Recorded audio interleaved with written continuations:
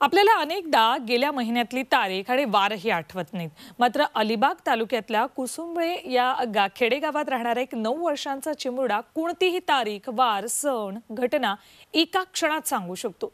कोण आहे हा कॅलेंडर बॉय बघूया.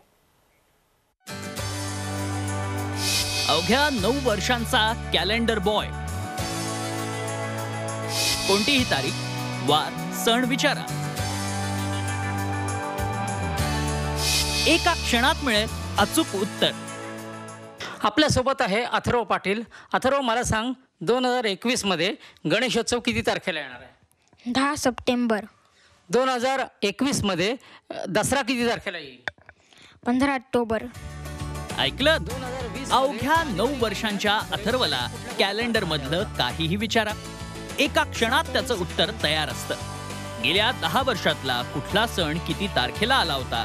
वार काय होता त्याला सगळं सगळं माहितीये. दोन हजार अठरामध्ये रमजान ईदचा सण किती तारखेला आला होता? दोन हजार अठरामध्ये सोळा जून. दोन हजार एकवीसमध्ये डिसेंबर महिन्यात बुधवारी कुठल्या कुठल्या तारखा येतील? एक आठ पंधरा बावीस एकोणतीस. दोन हजार सतरामध्ये आंबेडकर जयंतीच्या दिवशी वार कुठला होता? दोन हजार सतरामध्ये आंबेडकर जयंतीला वार कुठला होता? शुक्रवार. अथर्वच्या या कौशल्यानं सारेच अवाक झालेत आई वडिलांना अथर्वच्या या अचाट कौशल्याचा शोध कसा लागला त्याची कहाणी रंजक आहे. तो काय करायचा घरातले सर्व कॅलेंडर खिडकीतून बाहेर टाकायचा. त्यावेळेला माझा आतेभाऊ गणपती बघायला आला होता आतिश म्हणून. तर त्याने त्याला कॅलेंडरवर प्रश्न विचारले. आणि तो उत्तरं एकदम ॲक्युरेट द्यायला लागला. तेव्हा आमच्या लक्षात आलं की याची आयक्यू लेवल चांगली आहे. कॅलेंडर लक्षात ठेवण्याची अथर्वची एक स्वतःची ट्रिक आहे. प्रत्येक वर्षात वर्षात तारखेला एक दिवस पुढे जायचा. आणि जर लिप वर्ष असेल तर दोन दिवस पुढे जायचं. म्हणजे यावर्षी पंधरा जानेवारीला शुक्रवारला तर पुढच्या वर्षी शनिवार येईल. आणि जर पुढच्या वर्षी लिप वर्ष असेल तर रविवार येईल. अथर्वनं हे आपलं लहानचं ट्रेड सिक्रेट सांगितलं असलं तरी ते काही एकच नसावं. कारण यामुळे तारखा लक्षात राहतीलही. पण सणवार घटनांची सांगड कशी घालणार? यासाठी अचाट बुद्धिमत्ताच हवी.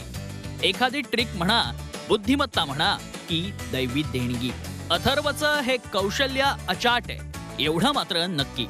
प्रफुल्ल पवार झी चोवीस तास रायगड.